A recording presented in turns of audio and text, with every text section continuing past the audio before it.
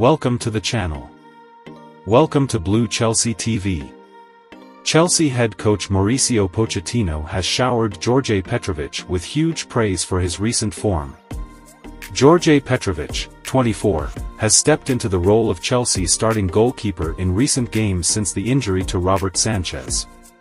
Petrovic, who only cost the Blues a £14 million transfer fee, Sky Sports, last summer from MLS club New England Revolution, is impressing during his first season in English football.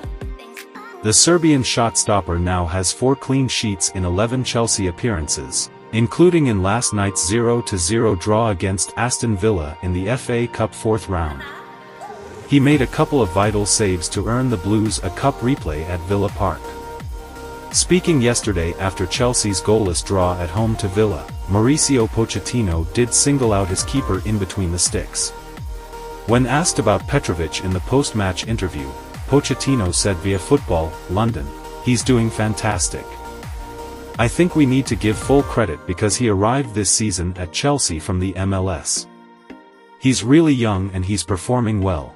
I think the way he is behaving in the goal, it shows his quality and his character is amazing. I think he's doing an amazing job. Spare a moment to like the video if you love the content and don't forget to subscribe if you are bumping to the channel for the first time.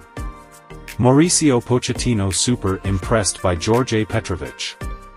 We were a little anxious about Petrovic's introduction to the side given his lack of experience at the elite level, but it's looked relatively easy for him adapting to football in England. In fairness, we now think he's built up quite a compelling case to suggest he should move forward as the permanent number one ahead of Sanchez. Petrovic carries a real confident aura at the back and he never does anything too flashy, the sign of a top keeper. The 24-year-old is improving with his ball-playing qualities, too.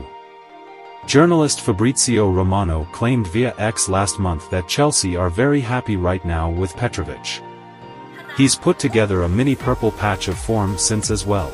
It looks like this is one of the few Chelsea transfers under this ownership that you can confidently put in his success category. That's all for today. Like, comment and subscribe. Until next time.